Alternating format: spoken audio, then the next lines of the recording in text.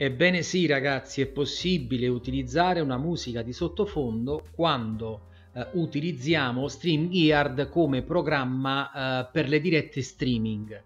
Eh, però io ho bisogno per poter realizzare questo video anche perché ehm, ho bisogno dei vostri commenti, ho bisogno che voi mi chiediate eh, di poter fare o di voler fare determinate cose. Quindi eh, vorrei che il mio canale superasse i 4000 iscritti. Quindi diciamo che mi sono, mi sono posto questo come obiettivo. Se Uh, pensate di potermi sostenere nel superare i 4000 iscritti sarò ben lieto di farvi non solo vedere questa procedura questo procedimento ma uh, di poter anche inserire altre eh, voglio dire altre mie esperienze acquisite in questi anni eh, su software, su programmi, ma non solo programmi video, ma anche fotografici, su tutorial, su altre cose. Io non ho altri programmi, Telegram ad esempio, all'interno dei quali voi magari andate lì eh, e io inizio a chiedervi dei corsi, delle cose a pagamento, non faccio questo, ma non perché gli altri, voglio dire, non lo debbano fare.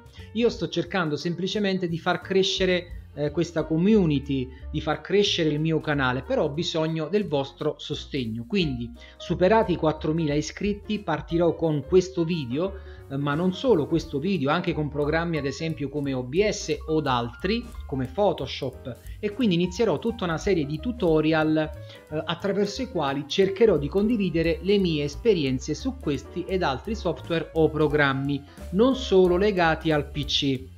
Sapete che sono una persona molto tecnica, ho moltissima, ho tantissime esperienze e conoscenze anche in ambito tecnologico, però ho bisogno del vostro sostegno. Quindi pollice in alto, condivisioni, commenti, fatemi sapere al di sotto di questo video, quindi nei commenti, se eh, riusciamo quindi, se vi fa piacere, ma soprattutto se riusciamo a superare i 4000 iscritti. Quindi vi aspetto al prossimo video e ai prossimi e i primi tutorial. Ciao!